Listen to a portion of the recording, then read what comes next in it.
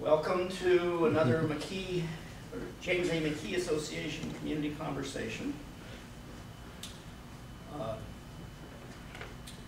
In our informal chat, you've already received an introduction, but uh, David Graham is our Greene County Auditor.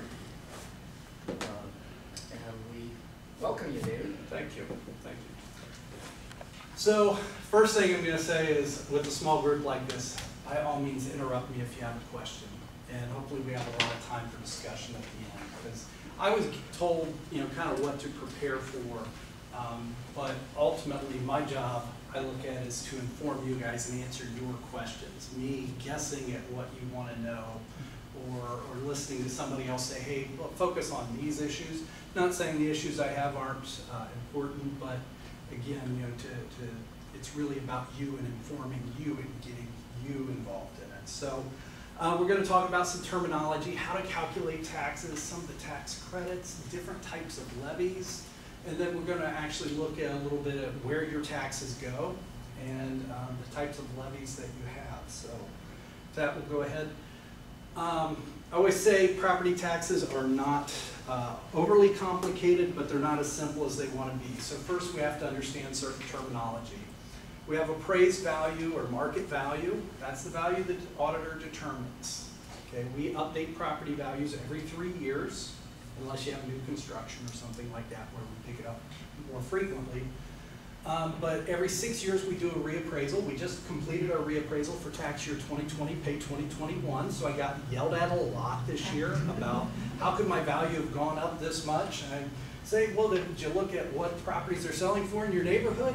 Yeah, but that's just this current market. It's not sustainable. And it's like, yeah, but I'm measuring the current market, unfortunately. So, I mean, I agree with most people. I don't think this market is sustainable. Eventually, interest rates will go up, and that will flatten the market a little bit. I'm not suggesting that we're gonna have a recession like we had before. I think we learned a lot of lessons, um, at least from the banking industry side. I think they, they learned a few things that, uh, they, they realized them owning property is not a benefit to anybody. Um, so, in every three years in between, we do a triennial update. So a triennial update is just purely a statistical model where we look at what are sales in this neighborhood? If they're ten percent higher than my value, then we add ten percent to it. Where a reappraisal, we're actually, at some point, have inspected every property. Now, we don't go inside properties. Most people would consider that an invasion of their privacy. Um, but we do an exterior inspection. We use a lot of technology to do this now versus back in the day, we had boots on the ground walking around houses. Um, now we capture a lot of imagery, um, either aerial, uh, oblique. And uh, this past time, we actually had a van driving around taking pictures of, of properties. We probably won't do that again. I was getting yelled at way too much by people saying you have no right to come onto my property. It's like, well, statute actually allows me to come into your house. So let's back it up just a little bit. But obviously, I don't want to do that. I don't want to invade somebody's privacy. And in today's world, I don't want to subject the public to appraisers that uh, I hire a company to, to do.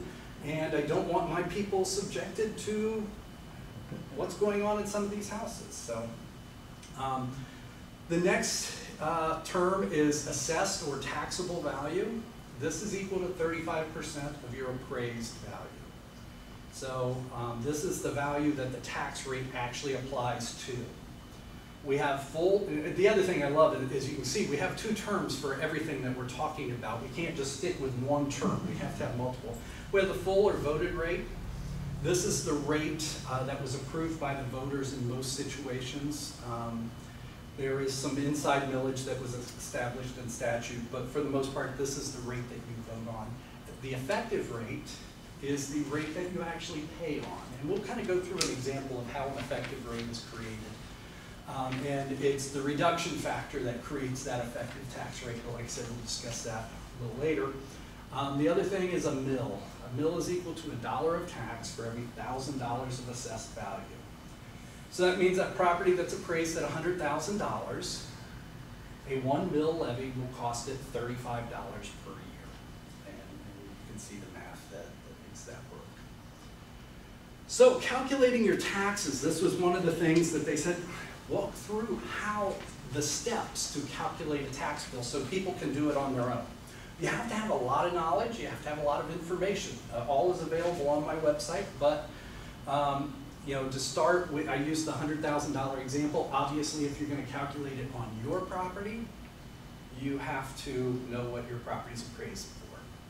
So you take that appraised value times the assessment ratio of thirty-five percent. The thirty-five percent actually came to be, uh, prior to county auditors being the uh, chief appraiser for the county, there was an appraisal office, and the state decided to do a study statewide on average, what appraised value are these county appraisers putting on property? The statewide average was thirty-five percent. So they said, hey, we're gonna start making you guys appraise more accurately, but we're going to apply this assessment ratio of thirty-five percent so that everybody doesn't just get this huge tax increase from being underappraised for years and jumping up. Historically, do you remember what year that? I, I want to say that was the uh, mid to late thirties. Now, I don't remember it. I've heard this in a presentation that was given, of course. Uh, Yes? But that's set by statute and subject to the whims of the legislature. Yes, so these, I, I, the stat, state law does establish the assessment ratio. And so it can change, it hasn't changed. Twenty-five tomorrow. Um, you know, they, they could, um, so public utility, uh, honestly, when they did away with personal property tax, um, what they did, they, those, all those statutes still exist. They just set the assessment ratio, it used to be at twenty-five percent, they set the assessment ratio at zero. So all those laws, technically, we still have personal property tax in Ohio. We just have an assessment ratio of zero, so nobody ever has to pay it or file forms. Just for clarity, personal property is not physical property. Correct, and, and personal property generally wouldn't be an individual's property, it would be business property. So, uh, inventory, equipment, yes. Securities. Securities used to be taxed long ago. Um, actually, grain used to be taxed long ago. Uh, and, and these are things that they so far predate me, and I haven't heard anybody do a presentation on it. So I'm not overly familiar with, with how those tax rates were established or what the assessment ratios or anything were. Well, It's, when you say personal property tax, there's two types of property, real property and personal property. So, well, that, that summarizes the distinction I was trying to make. Let, let's let you finish. By, by, by, say, by all means. Um, so the effective tax rate in taxing district F19 is 64.09 mills. That $35,000 times 64.09 divided by 1,000 because the mill is equal to a dollar of tax for every $1,000 of assessed value gives you a tax before credits of $2,243.19. Now, there are three credits in the state of Ohio, the non-business credit, the owner occupancy credit, and then homestead. So the non-business credit, you receive that just by virtue of not owning a commercial or an industrial property. If I have it categorized or classified as residential or agricultural, you automatically receive what used to be called the ten percent rollback, but it's only a ten percent rollback on levies, on qualifying levies, and a qualifying levy is defined as any levy that was put on the ballot or approved prior to August twenty thirteen. So, yes, What if your home is used as a business, um, but it's a computer business in your home? so generally, we're going to look at what is the primary use of this property, And that primary purpose, so if, I like to cook food, so occasionally I'll cater for uh, a graduation party. Am I technically using my kitchen as a business purpose? Yeah, but the predominant use is not. Okay, that. The predominant use is for a residence. Where if I were to, sh- you know, kick my kids out, have my wife and I run a pizzeria out of our house, and we, we weren't sleeping there, then that would be a commercial property. Okay, so, um, it's important here, again, going back to a qualifying levy. So if a levy is renewed after this date, it continues to qualify as a qualifying levy. If a levy is replaced or an additional levy is put on, then it does not qualify for the non-business credit. Okay? And the calculation here, in this case, ninety-three percent of the village's levies are qualifying levies. So where that used to be a ten percent rollback, now it's a ninety-three point three five seven percent rollback. So the math is pretty simple, you just take your net taxes times that ninety-three percent, and that calculates what your credit is. Or nine point three percent, sorry.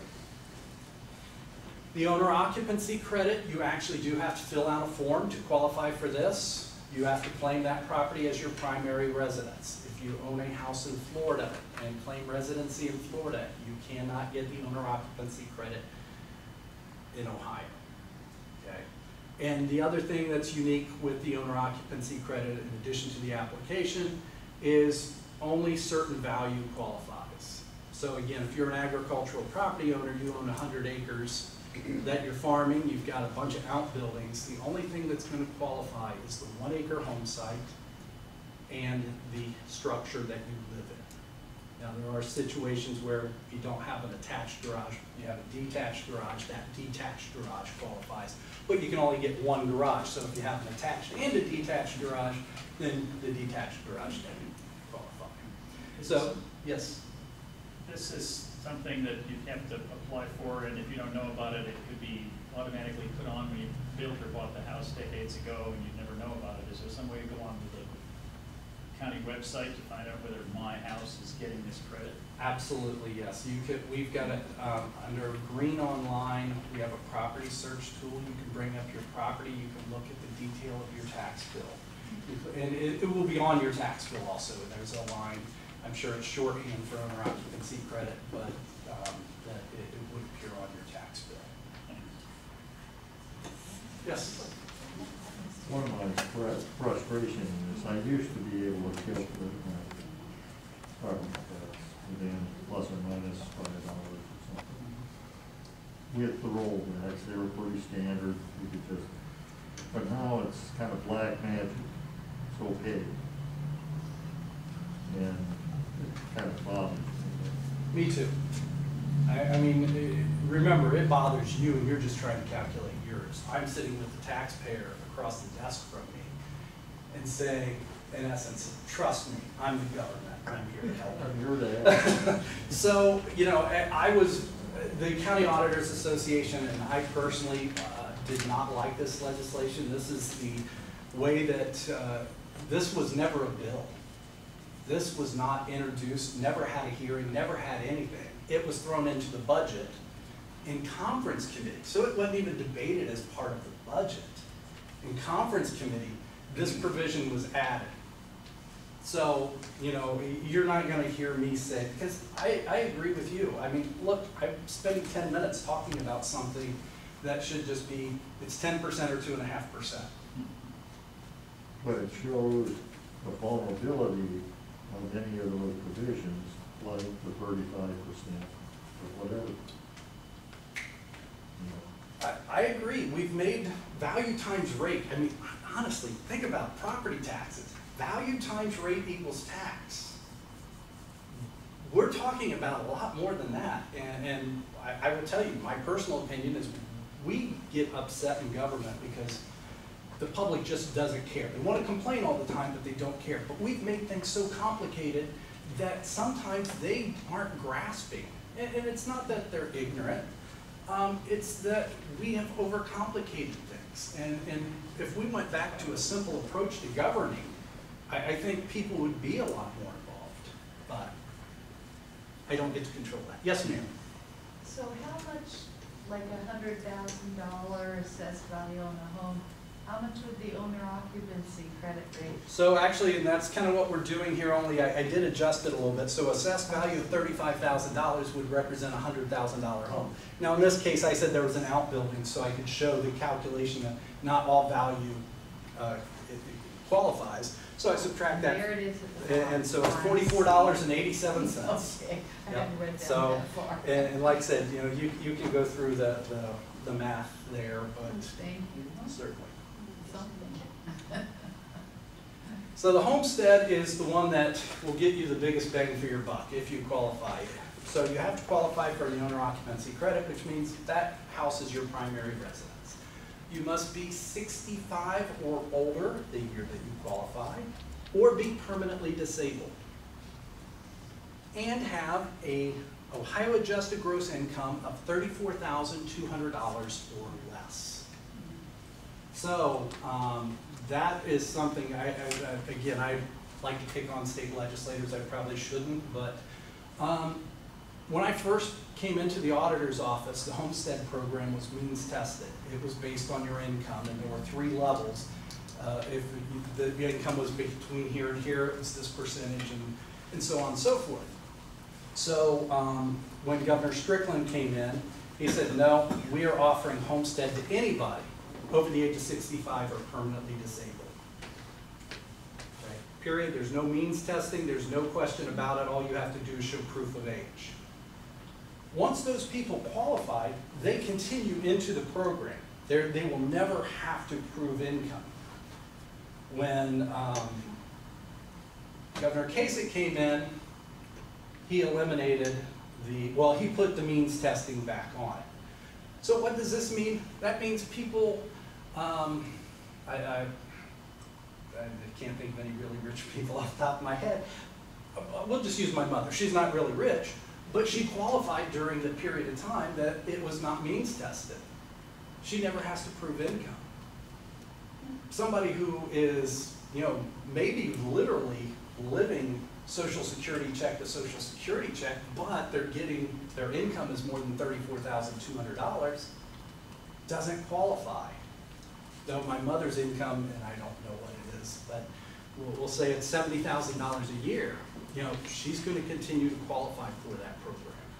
So this is where I always say, you know, the state always likes to point to local governments and say, you guys are inefficient. And I always like to point back and say, well, when you create three sets of rules to run one program, it's hard to be efficient. So, um, Now, yes, the social security for Ohio purposes is not part of your adjusted gross, right? It is your, Ohio adjusted gross income is what, generally it is not, I'm not an income tax expert. Um, Generally, your Ohio adjusted gross income would exclude social security. Um, But if you look, if you ever want to know if you qualify, look on our website, that thirty-four thousand two hundred dollars gets adjusted every year by an inflationary index. And if your income, Ohio adjusted gross income is less than that, then by all means file. And if you ever have any questions, contact my office. We'll, we'll be happy to walk you through. We really don't like people to apply that we know aren't going to qualify because I have to send you a certified letter denying it, and that costs the taxpayers about five, almost six dollars now, so. So there is an additional provision, so the homestead, what it does is it takes first twenty-five thousand dollars of appraised value and makes it tax exempt to you. So whether you live in a million dollar house or a fifty thousand dollar house, the benefit is exactly the same, it's twenty-five thousand dollars. If you are hundred percent military disabled, or the spouse of a first responder killed in the line of duty, that twenty-five thousand increases to fifty thousand. Okay, so to calculate the homestead credit, like I said, you've got a twenty-five thousand dollars, the twenty-five thousand dollars of appraised value that's exempt to you. So you take that twenty-five thousand dollars, apply the assessment ratio, get the assessed value of eighty-seven fifty. You would apply the effective tax rate, same rate we've been using throughout, and see that your, your homestead credit before your other credits is five hundred and sixty dollars, but we have to subtract off because you're not paying tax on this, so you don't get credit for the uh, non-business or owner occupancy. So the net savings in this case is four hundred and ninety-five dollars and thirty-six cents. So roughly, if you live in the village of Yellow Springs and you qualify for a homestead, that's the annual tax savings that you receive. In, in addition to the owner occupancy credit and the non-business credits. So if you go through all those slides with all that math, Ultimately, you end up, assuming that the individual qualifies for homestead, with a tax bill of right around $1,500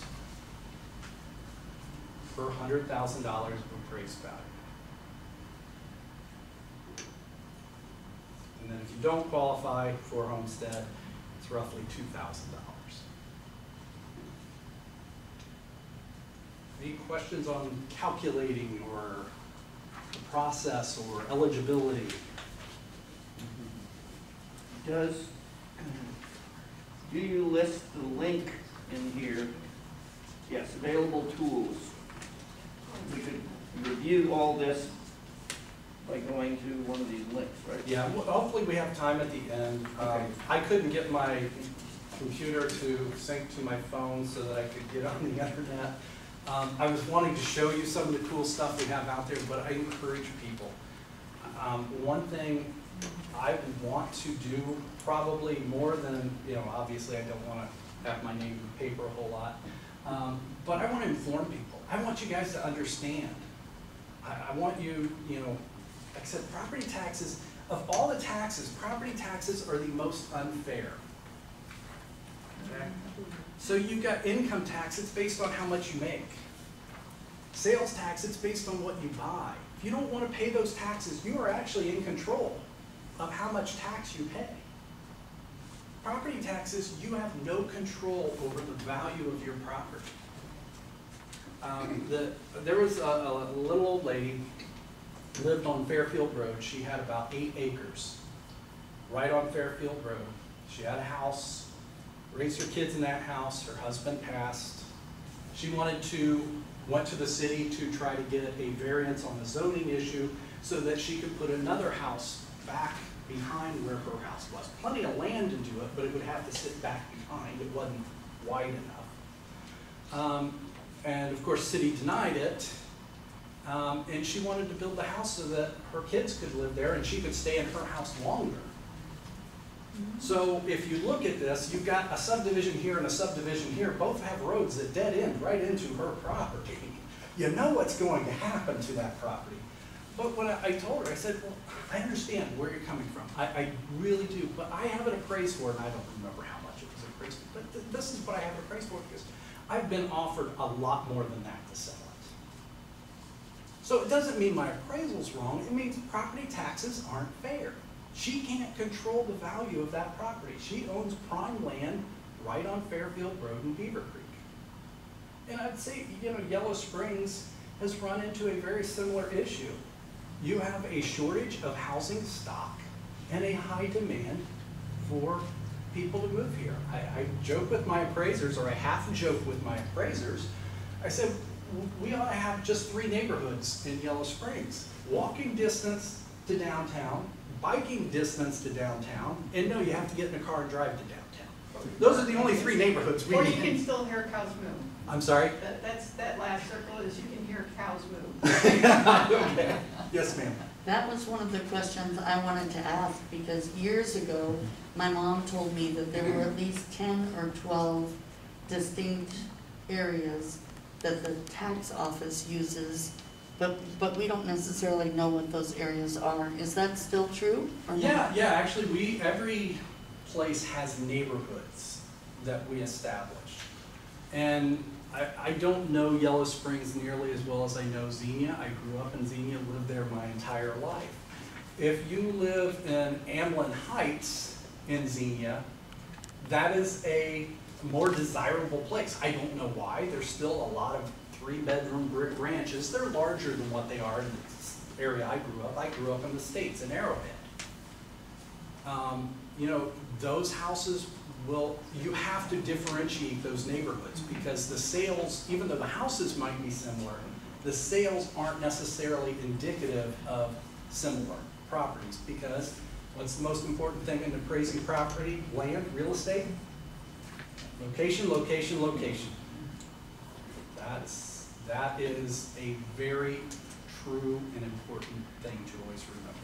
I, I must be missing something. If I live in a snooty neighborhood and my house is appraised at half a million dollars and, you know, my brother lives in a non-snooty neighborhood and it's appraised at a hundred thousand dollars, what, is there another factor that's used to appraise the value or is it just the appraised value of the house? It's the appraised value for the house based on what similar properties in that area are selling. So how does the fact that it's in this neighborhood versus that neighborhood come into play? Because I'm not going to compare the property in Arrowhead Oh, to one that's in Got it, Galen okay. Heights. The- Those are two different neighborhoods, the sales don't correlate to each other. okay, that makes sense. Because there is another factor there that we don't know what it is. Yes. Uh, I'll give you an example, uh, during the recent reassessment appraisal, rate, uh, in Birch Three,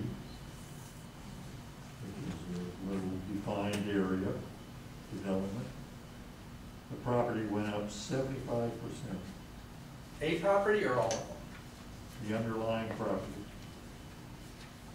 You mean the land? the land. Okay, yes. seventy-five percent.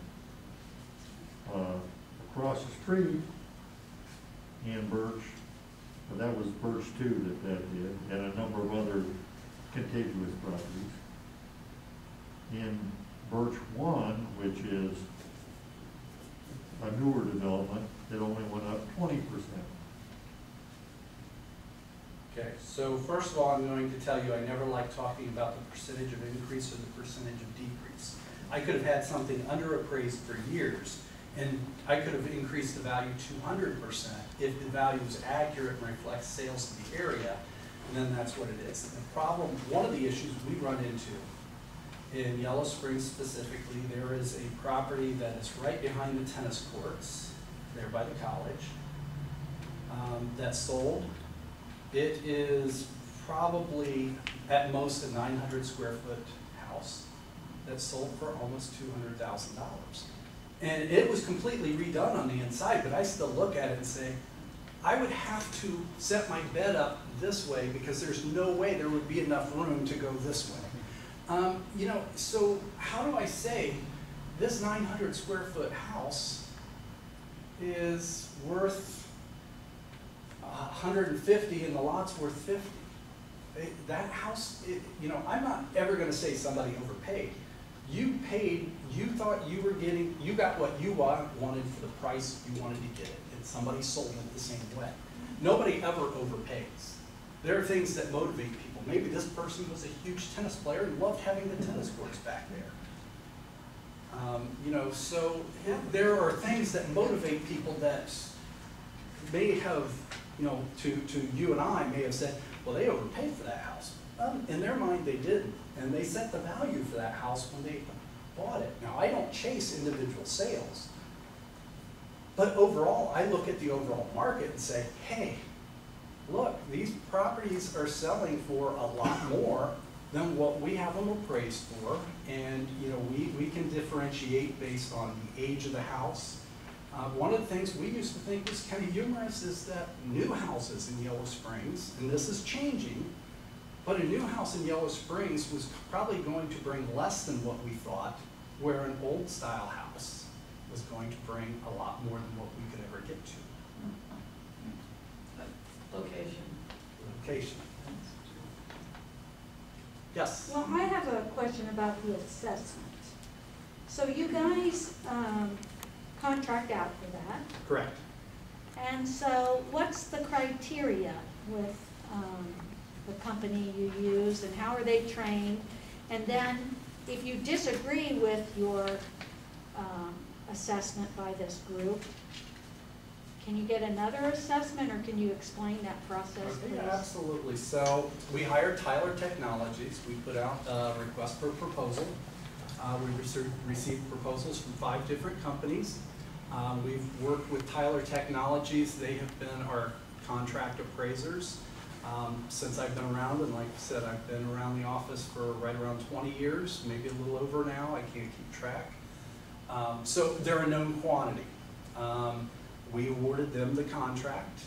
Um, So when they appraise a property, one thing we do is anytime your property value changes for anything other than what you did, so if you tore down a, a pole building and turned in an injured and destroyed, destroyed property form, I'm not gonna tell you your value decreased, you know it decreased, but if your value changes, I send you a letter and say, here's your new value.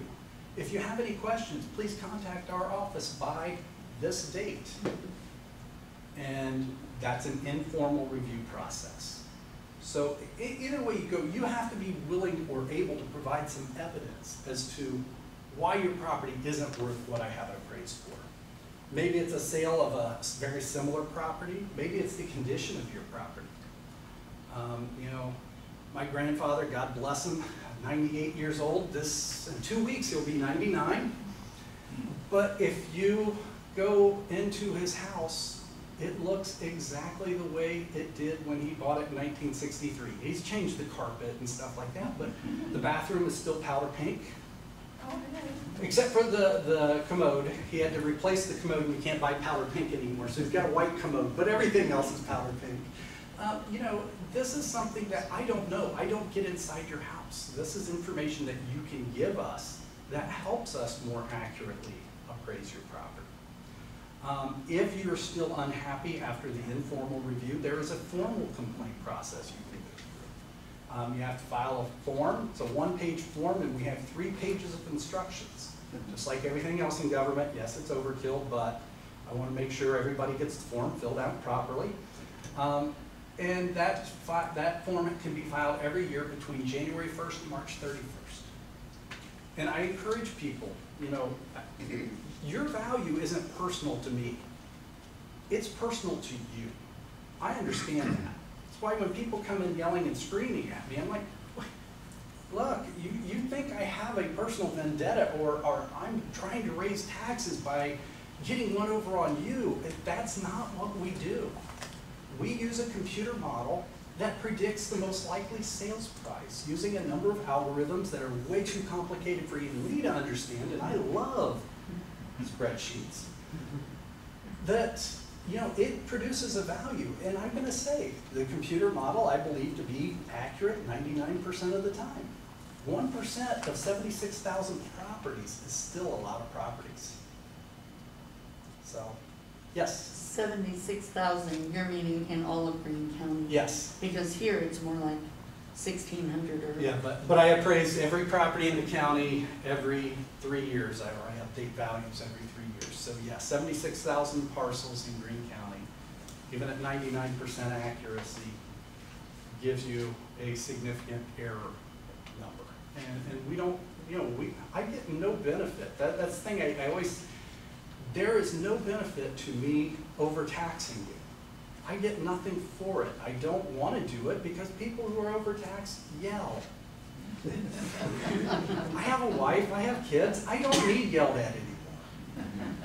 So, and, quite honestly, the computer model that produces a value, we actually, because we know it's a computer model, we assign a value at ninety-five percent of what the computer model says.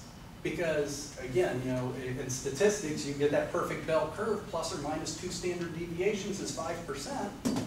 So I shoot for ninety-five percent, hoping we have a good model, in that that two standard deviations covers that five percent. Again, why do I do that? Because if I shoot for hundred percent, I have just as many people overappraised as underappraised, and as I said, people who are overappraised yell at me.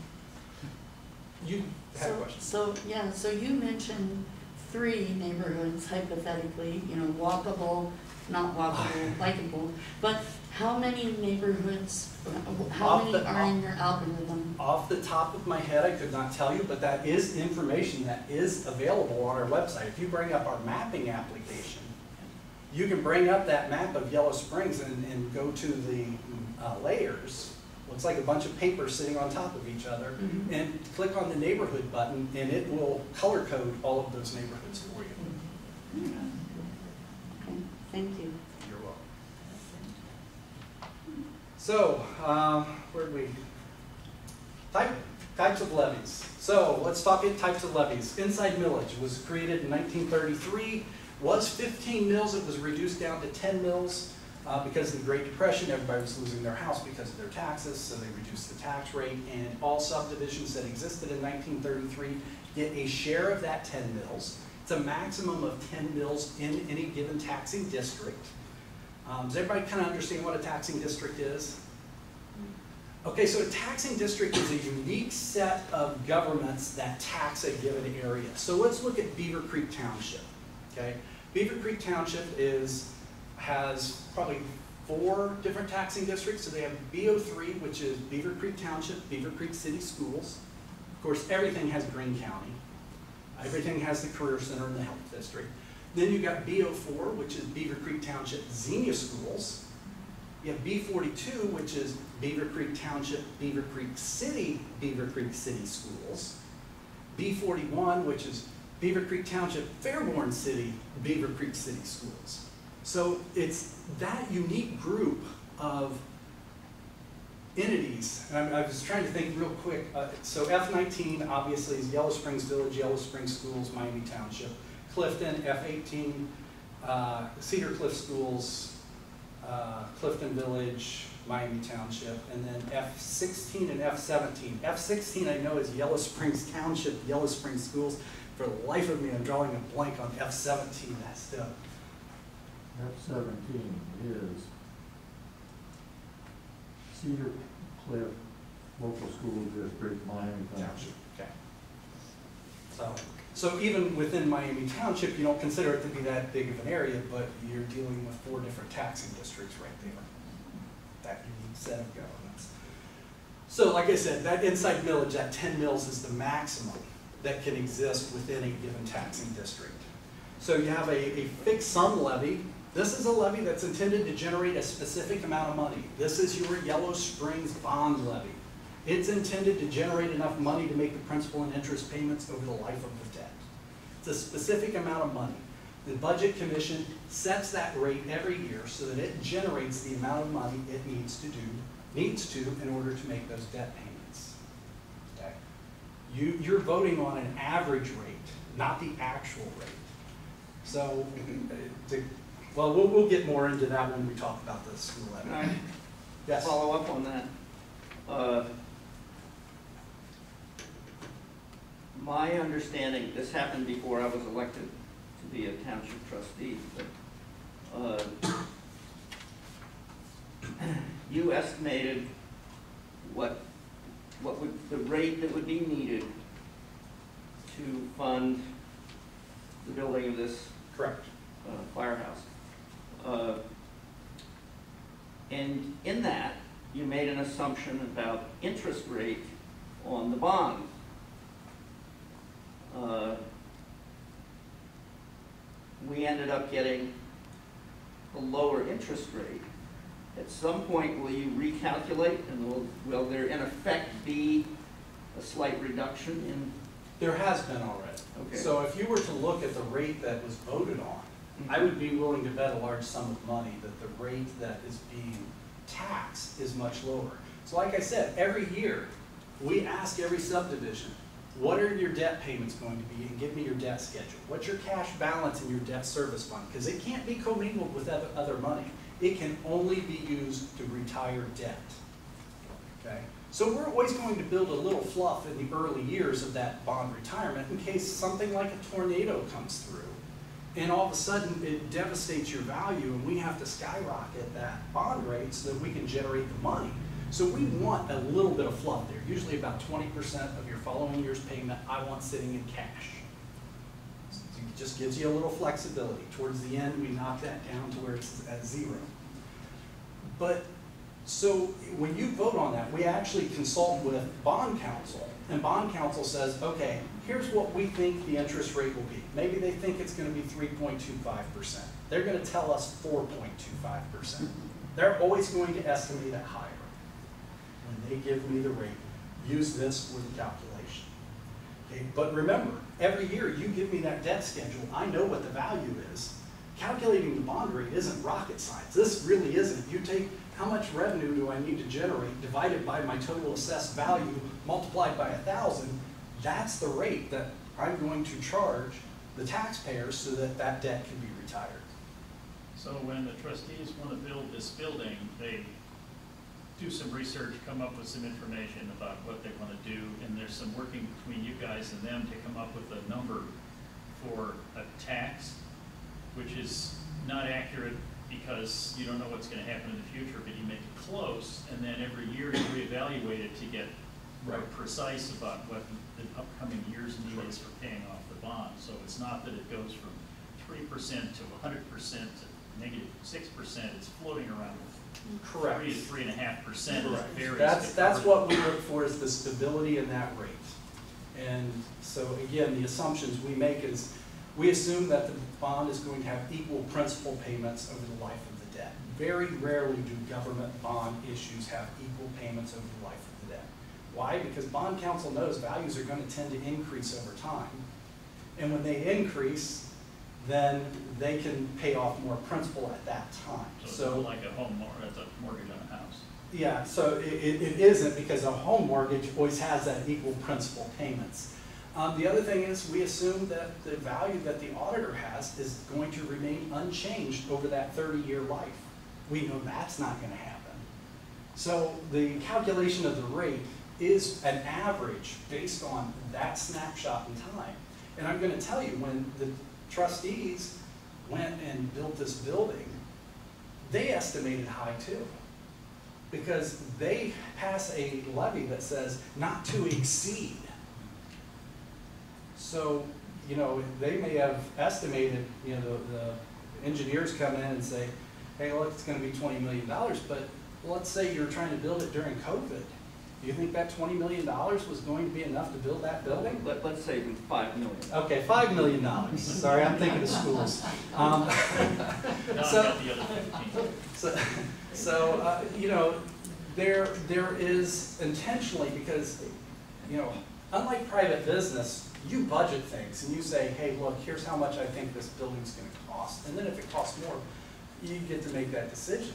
Think about it, if you pass a levy and say, okay, it's going, I, maximum of five million dollars, and the and the building comes in at seven million, yeah, you can pay cash if you've got two million available and still be in compliance, but you can't issue more debt than five million dollars, because that's all the voters approved.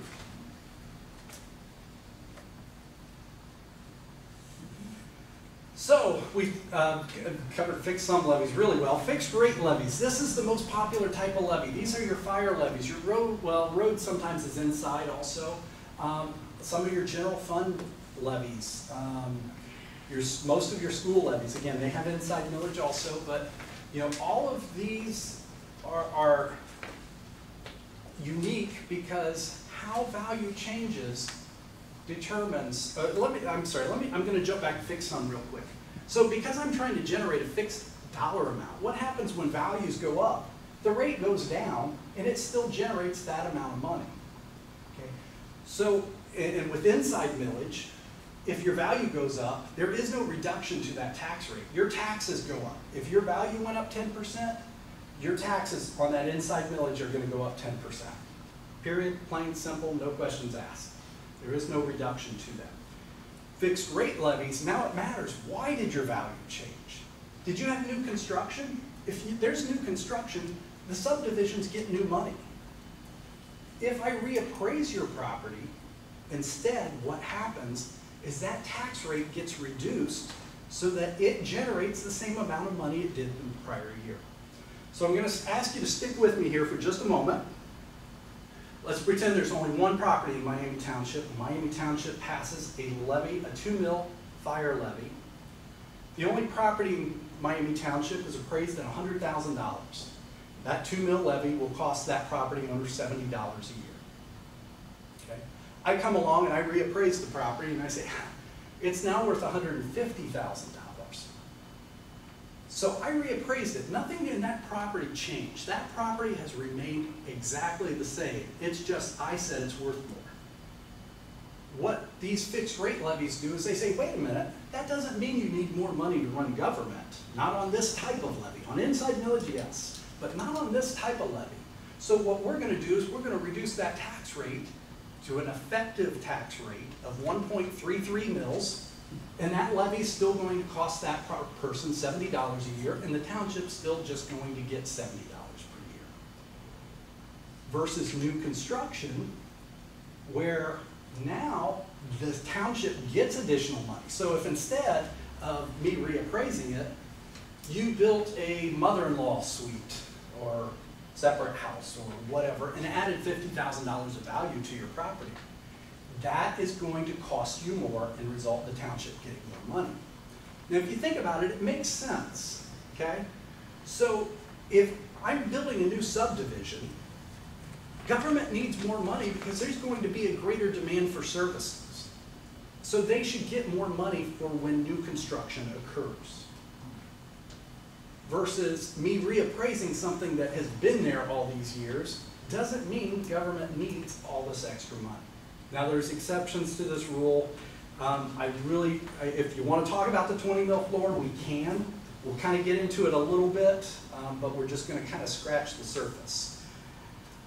So, why did I go through how the different types of levies work? Because it's important for you to know, when I did the reappraisal, why you saw your taxes increase. So in this case, you look, I've got Yellow Springs Village and Miami Township, Yellow Springs Schools. So taxing districts F19 and F16, as I like to refer to them as.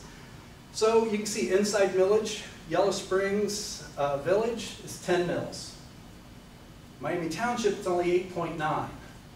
That's because everybody who lives within that boundary, whether, if you're in Cedar Cliff schools, you can't have a higher rate in one township than you do in another township. It has to be uniform. You can't have ununiform rates. So they can't get to their full 10 mills.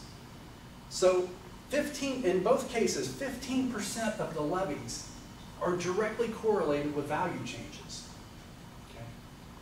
That means 85% of your levies are adjusted somehow so that an increase in your reappraised value doesn't impact your taxes. So your fixed sum levies, they represent 25 or 28% of your total millage. And remember, with fixed rate or fixed sum levies, as values go up, it doesn't really matter, that rate drops down. If you have new construction, it doesn't matter why your value went up. If you get new construction, that levy technically should cost everybody a little bit less. Now, we have fixed rate levies not subject to the floor. Okay, these are, and this is where we're gonna touch on the twenty mill floor. So school districts have a floor, a twenty mill floor for schools and then a two mill floor for career centers or JVSs. If they have voted rates in excess of twenty mills, their rate can never go below twenty mills. There's only one school district in the state of Ohio, six hundred and twelve school districts, there's only one that doesn't have voted levies in excess of twenty mills. Anybody wanna guess where it is? Yellow Spring. It's, it's on one of the islands up off of Lake Erie. So, um, so what does that mean now?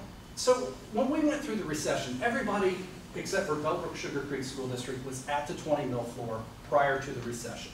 When the recession occurred and we lowered values, what we saw was the tax rates rolling up. Just like I said, the tax rates roll down if I reappraise increase, but if I reappraise decrease, those rates roll up so they still generate the same amount of money they did in the prior year. That's why we have property taxes. As unfair as they are, they're a very stable source of income, not subject to the mass fluctuations like income and sales tax. So now, we have, if we look at the rates that are subject to the floor and add our inside millage to it, you can see that almost 50% of your millage is directly tied to a change in your value. Making all of this discussion I had about fixed rate levies, while it's still true, you have to realize the township doesn't have a floor. If I reappraise values and your taxes go up, realize the township isn't benefiting from that except for on that inside millage. And yes, they do have inside millage for both the general and road funds. Okay, that was pretty deep in the woods. Are there questions, or is that just one of those that, all right, move on.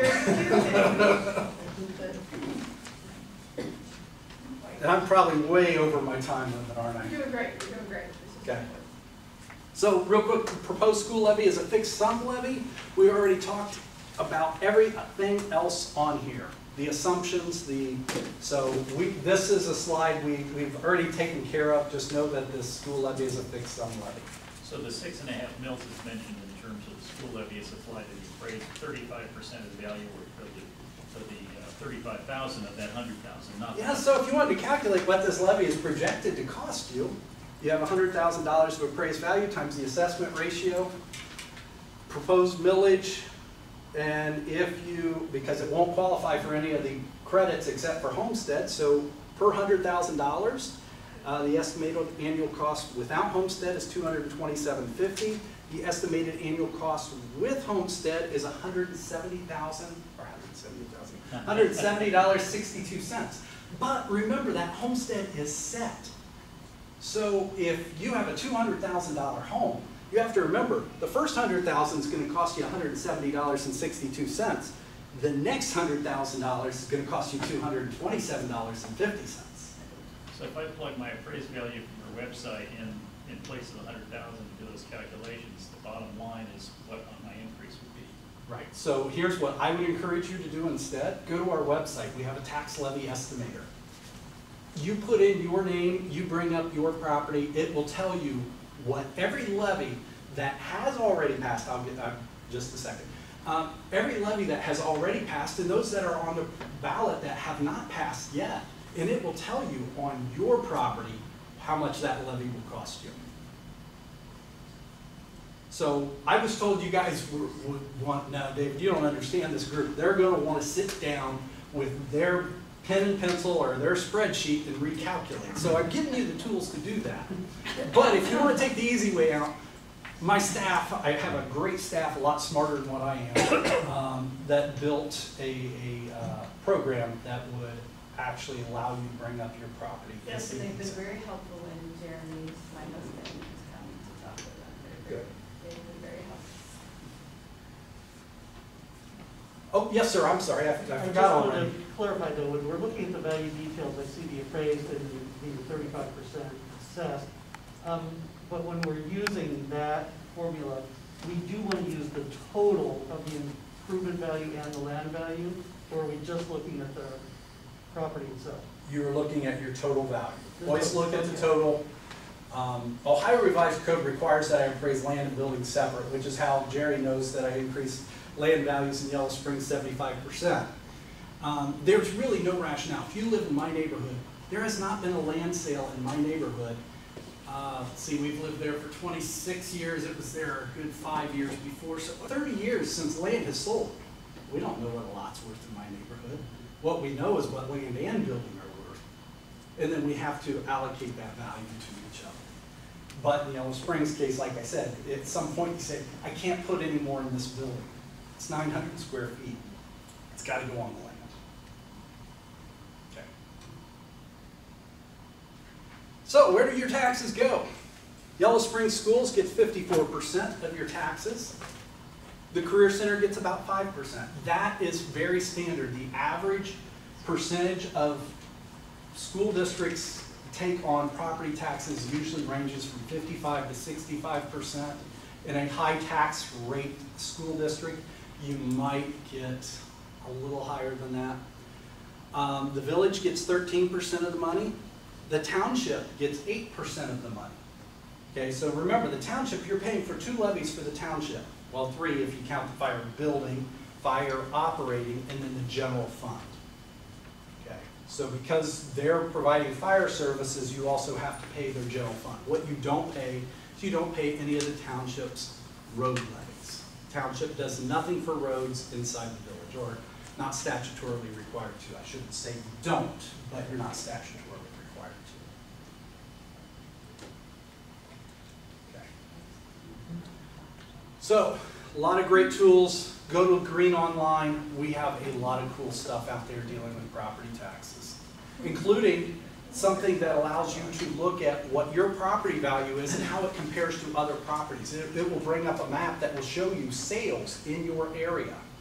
It will include your neighborhood code and it will bring up sales of your neighborhood. So again, these are the categorizations that we make. Property tax levy estimator, again, great tool. If you're looking at building a new house, uh, we also have a tax levy estimator, um, or a tax estimator that allows you to say, hey, look, if I build a five hundred thousand dollar house, what's that gonna cost me in taxes? So a lot of cool toys on Greene Online. But you may wanna tell them they have to drill down to the auditor's page. No, no, no, this is right there on the front page going, I- and like I said, I wish I could bring up the internet in here. Right across the top, you'll see it says government, departments, Greene Online. Greene Online is where you want to go. That's where all of these toys are. You can get to them from my page also, but if, my page, I, I tend to think of it more, if you're looking for a form, you're gonna need to come to my page. If you want to fill out the homestead application, that form's gonna be on my page. But, again, you know, all the, the cool toys, bells and whistles, they're right there in the middle, on the top, Greene Online. Um, so we, we have a, a list of every property tax levy.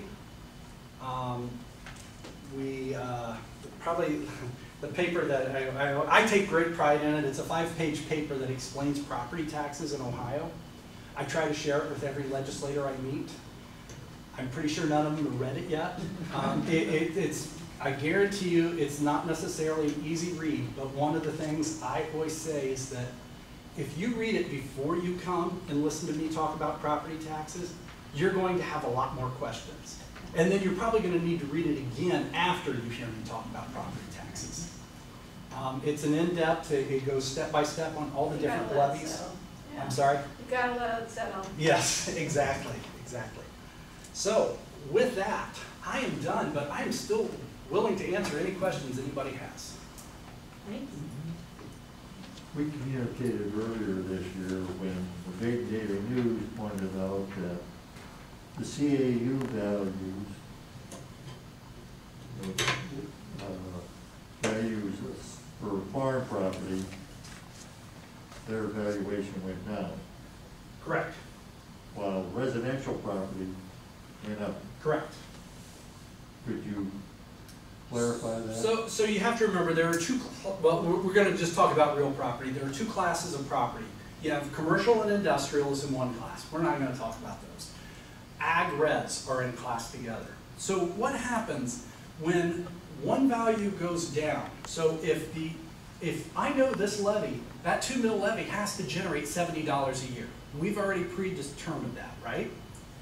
So if the ag values go down, even if the residential properties don't deep increase, there is a shift of that tax burden. That seventy dollars represents a pie.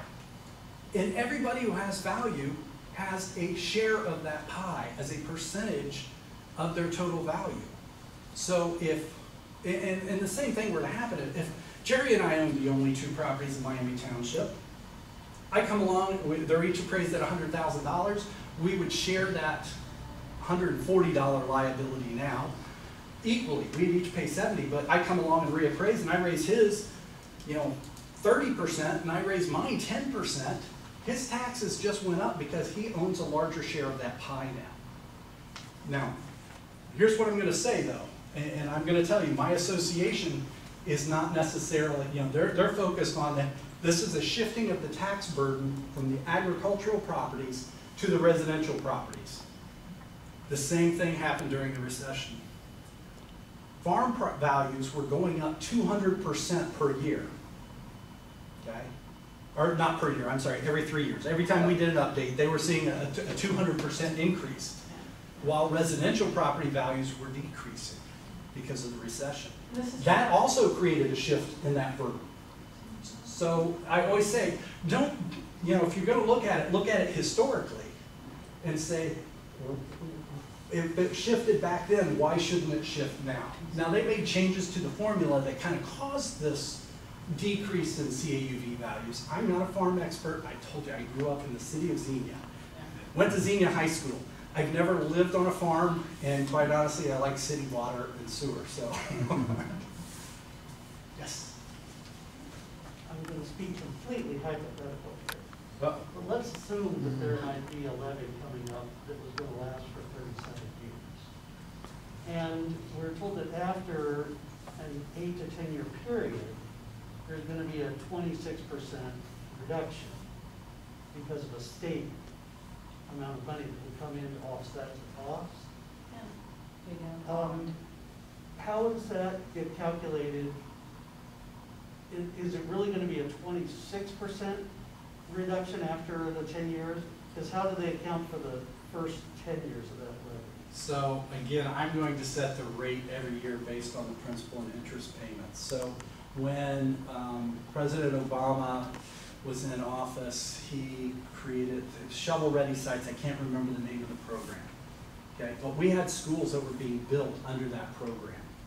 Okay, so we had Cedar Cliff Schools and Xenia Schools were both built as shovel-ready sites where the federal government guaranteed, I am going to give you X amount of money per year to offset your cost of issuing these, this debt. So when I set that bond rate, I not only look at what the principal and interest payments are, but I say, what are your other sources of income that are dedicated to this specifically? Now, the federal government, and once again, remember, if anybody ever says, hi, I'm from government, I'm here to help you, run, because the federal government put sequestration in. And then they decreased these payments that were guaranteed to these school districts for having built these schools. So I- the bond rate actually went up higher because this was something that was planned. I'm going to tell you, when I built that tax rate, and I'm the one who certifies tax rates for the ballot, okay? I did not consider any outside sources of income. So if they develop an outside source of income, then yes, they would be required to let me know about that so I can set their rate accurately. So does the amount of money that is paid by the homeowner change drastically when that comes into play, when that nine, Yeah, ten we million don't know dollars if shows up? Or does the, or ten. does it just pay off more faster? So he- here, it, it would, ideally it would decrease, I don't know, what, what are they gonna, are they gonna, I, this is the first I've heard about it. Okay. So obviously I've done no research. If they're gonna give you a lump sum, um, then either way you go, if you're retiring debt earlier, um, then it's going to reduce that principal and interest payment, which would in turn reduce your r- bond rate, which would reduce your taxes. But that reduction would only start when they actually got the money. Correct. Well, that's why I wonder, would, would that reduction then ultimately change from twenty-six percent to maybe like thirty-one percent to catch up for the first ten years that there's no reduction? So, it, here's what I'm gonna tell you, is what bond counsel would do, if this is a guaranteed money that they're going to get in year eleven or whatever year they're going to start getting it, is bond counsel will set up the debt schedule so that it, the principal payment goes up significantly in year eleven. Because bond counsel has really the same goal as what I do. That's not to have people yell at them, or, or the school district who hires bond counsel, you know, they're looking out in that nice level bond rate. Once you get used to paying it, you, you don't necessarily, you know, you, you don't see it go down. It does go down over time. It, I guarantee you it does go down over time. But you don't really see it. It's when it spikes up that you, you see it. So I, I, I always thought it was funny. Um, Cedarville Township, it's probably been 10 years ago, decided we've got plenty of road levy money. We don't have any major projects. We are foregoing our inside millage on our road levy for a year. Taxes went down on every property owner by that 1.45 mills that they had in their road levy, road inside millage. The next year, when they put it back on, nobody called to say, hey, my taxes went down, what happened? Instead, when that levy was reinstituted, that's when everybody called to yell, and I'm like, you had a government acting responsibly, only taxing what they felt they needed, and then when they needed it again, it's hard for you to have a solid position to yell at them for actually saying, yes, we have a major road project now, we need to get done. But So with this bond, uh, paying down the bond after maybe seven to ten years on the OFCC, is there any way that we can get a guesstimate or any kind of a close approximation of what the total cost would be at the end of that thirty-seven years? I mean, I can give it to you, but it's based on flawed assumptions. It's based on equal value throughout the life. I mean, yes, you can, you can do a calculation. Um, as soon as, here's the problem, is nobody's come up, you can ask the school district if they have a debt schedule that has been proposed. Um, and that will tell you what your total principal and interest costs are over. But you aren't going to bond something until you actually pay for it. You know, I, I'm not going to go out and issue a thirty million dollar bond to build a new school and find out it only costs twenty-five million. Um, it's just not what you do. You, you say, okay, here's my cost. I know them now. I'm gonna issue bond anticipation notes. I'm gonna issue debt, but it's not going to be a thirty-year bond that I'm, or thirty-seven years, uh, thirty-seven-year bond. Because I don't know what my actual costs are gonna be. The county used to actually get in trouble periodically. They would get an engineer's estimate, well, not in trouble, but, and they would issue debt based on that engineer's estimate, not a one-year note, but the actual bond. And we got, the, the cost came in under, and now we've got this excess money that we're investing. Federal government doesn't like for governments to take cash from a debt issue and make money on it. Because we're investing it, back then, you couldn't do it now, of course, with interest rates what they are, but we were investing it at a higher rate than what we were paying in interest. And that created an arbitrage liability, and we have to pay that as a kind of a tax to the IRS because we have that issue. Let's assume a whole bunch of things that you can't assume are true, like, we know all this information you're saying is no way to know. Borrow thirty million dollars and then start paying it off, everything goes into place and taxpayers are paying off the thirty million dollars, and then after ten years, the state says, here's, here's ten million dollars back. The question that I have is, and maybe other people, maybe this is what you were getting at, I'm not quite sure. Do all of a sudden our taxes drop way down? Or They does, could. or, or does the tax rates, the, the, the tax bill stay pretty much the same, except that now that the, the s- school district has got another ten million bucks, that they paid off a chunk of the loan, does the principal amount go way up, like paying ahead on a mortgage several years? I mean, that is certainly something they, they could do, they could early retire debt. Um, you know, again, there's, there's just so many options, it's hard to say this is what they do, but if, what I'm gonna say is that if there's a ten million dollar inflow of cash that was not planned for this project, Who was? and I, well, not from me setting the bond rate, cause I know in it wasn't my- given to In my me. fantasy example. Okay, it, okay, i- in your fantasy example, then they're gonna set up that debt schedule to account for that large payment. So it- they would build, so everybody remember during the mortgage crisis, the balloon payments? Yeah. If they knew they were gonna get a ten million dollar lump sum payment in year eleven, they would have a balloon payment built during that year of that debt schedule. Yeah, and this is the, the curiosity of this is we don't know if it's gonna be de- year seven or year ten or something like that. So that's, we don't know how that uncertainty adds to their ability to create a bond schedule and how that impacts the cost. Yeah, so, and thi- and this is, really is a conversation, I've known Tammy Henrik for a number of years, she's an outstanding individual, and I encourage you to reach out to her and say, look, I'm, I'm really confused because, you know, like I said, I hadn't heard anything Yeah, about this until tonight, and so playing this supposed game, it's like, I, I could be getting myself in more trouble, Yeah. um, trying to explain it, than Do you, do you understand the, um, the OFC also meant, you know, it, they, they offer this money in the future, which, you know, we just asked questions about, but there was also an additional millage that they, um, that's mandatory, a zero point five. Yeah, so anytime you build a under the school facilities program, you have to have a permanent improvement aspect to your issue. So uh, Cedar Cliff did their permanent improvement as an income tax, I believe, is that what Yellow Springs Schools is doing also? No, well, it's, it's, no, it's, because it's six point five, so they included the point five in the, in the property tax. Okay. They also have income tax, and we're curious about that, because I think this is the first time that we've done it. Yeah, I don't do income taxes, Yeah. I only focus on property taxes, I Okay. get in trouble um, when I talk about income taxes. Fair enough. More people Um, yelling. No, but this is, Well, I, I, I was about joke, I said, I, I do five income tax returns a year, uh, six, sorry, I have four children, my, uh, mother and my wife and. Those are the only income taxes, and that's only because I'm too cheap to pay somebody to do right, exactly. Oh, I, okay. We like our spreadsheets, right? Yes, we like our spreadsheets, but I shouldn't have to pay fifty dollars to go buy TurboTax to figure out income times rate equals this. But- we don't have people like you. You can do it with, this- with Excel, that's what I do. So, but Just do you modify the form understand, every year.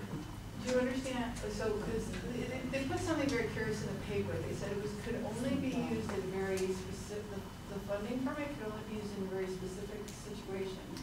It was catastrophic needs.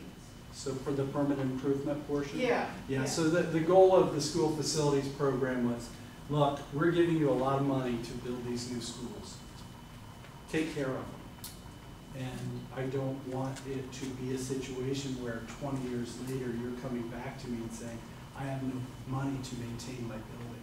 They literally, so it kind of puts me in an awkward situation, so as a member of budget commission, part of my job is to make sure subdivisions aren't accumulating wealth, that they're actually spending their tax dollars and not just sitting on them. And then they come up with this type of levy that says, no, you can't spend it. And as a member of the budget commission who's sitting here going, well, why aren't I cutting it? All they're doing is accumulating wealth. But that's what the statute requires that they do, because ideally, you're not gonna have anything major that needs to be done to that building in probably 15, 20 years. But that money is going to be there to take care of that new that paving, the new boiler, whatever, well, they don't use boilers now, but, uh, yeah, new HVAC system, how's that? Okay. Roof. Woof. It, it's just, I didn't see catastrophic in, you know, and when PI le, when PI levies are discussed in like the state budget, um, handbook and things like that, I didn't find catastrophic needs listed among the uses, so it was curious why that was. I, I don't know that a catastrophic need, I mean, I think a catastrophic need, a tornado that hits that building would certainly probably be an eligible use of those funds. But ideally, it's that you have reserves set aside so that, like I said, in twenty years, you're not coming back to the state saying, I need new school buildings. No, we, we made sure that you were set up to have money to maintain those buildings. Come back to me in fifty years, and maybe we'll talk. Jerry, you had another question? Uh, just, never mind. It's out of the weeds. I live there. Well, we can have weeds, we can have weeds questions on the side. We currently have fourteen levies in the school, for the school comprising that percentage. And some of them, they kind of lumped them into nineteen seventy-six, and we're still paying on them. But The general one. they passed at about, here's one at two point six mills, it's now down to 0.8 to dot, dot, dot. Okay.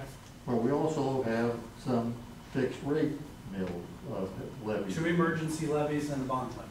yeah, That are still at the, the levy that passed.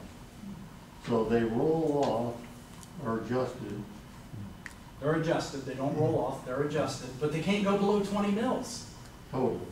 total for general fund levies. So your permanent improvement levy, which is also a fixed rate levy, can roll down, it will, it will never get to zero, but it will work its way to zero as if property values continue to increase and increase and increase. So What you're looking at is this, did you print this off of the county website or do you make it up? I Printed off the, his form. Okay.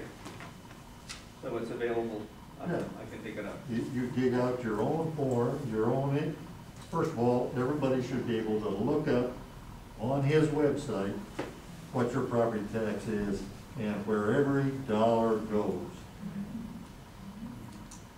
And surprised the number of people that don't, because it'll show all fourteen levies, what was it, what did they pass for the, the full millage, and then the taxable millage, and his adjustments take you from the full millage to the taxable millage.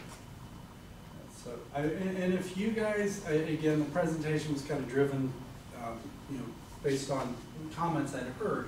But if you guys want a, uh, s- session, it'll be much shorter, um, of the tools that we have out there. I mean, mm-hmm. again, the, the amount of information, you know, not just for your property, but for the mm-hmm. subdivision. How much tax revenue did, property tax revenue only, Yeah.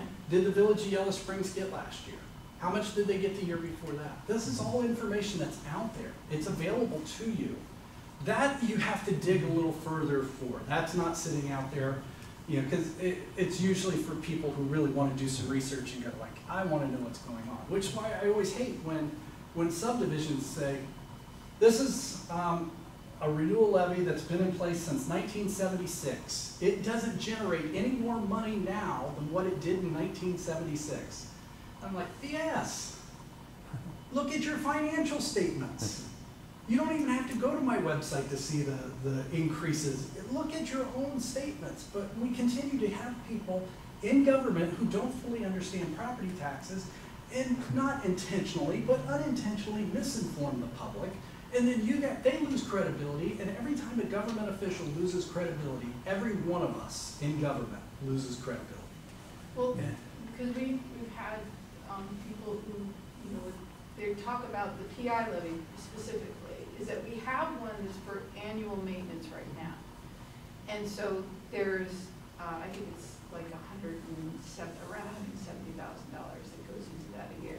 And this PI levy that's what, that, i- is in the proposed levy, right? That's one that's for, more for capital expenses. It sounds like that's stuff that you, that you, that you accumulate over years. So what, what a lot of schools have done, Xenia schools did it early on, is they passed a permanent improvement levy to buy school buses, school books. Things that you don't necessarily think of in terms of, I'm not saying they couldn't repair the building with that money, or even build a new Oh, yeah. building. It's a legal use for it. Yeah. But it wasn't the reason the levy was passed. It was to take some of their, what they looked at as, you know, five-year expenditures and pay for them outside of the general fund. Now, why did they want to do that? Well, because they wanted that outside of the twenty mill floor, and the permanent improvement levy doesn't count against that floor. So remember, school districts want to be at that twenty mill floor because that's the only way they get increases. When I was talking at Bellbrook Sugarcreek School District about their levy, they are not at the twenty mill floor. So guess what? I, if you were to look at new construction when it occurs, and, and everybody would look out there at, at Bellbrook Sugarcreek area and go, look at all these half a million dollar houses going up, Cornerstone, all this development. How are, how are they not swimming in money from all of this new construction? If you add up all of that new construction, it amounts to about two or three percent of their total value in any given year. Remember, most levies get reduced so that they generate the same amount of money they did because of reappraisal changes. So the only new money they're getting is from new construction. New construction comes with additional costs. If you're building a new subdivision, I have to hire more teachers. So while they're getting more revenue, they're also having an increase on the expense side. And that's the thing you have to remember when you're, you're talking about property taxes are so unfair. They are. But they, they give you stability that other taxes don't. And unfortunately, because they give you stability, they don't have massive growth in them except for on that inside millage, which represents a relatively small portion of the total millage. Unless you're school district that's twenty one floor, and then that's like inside millage. but- I think we should.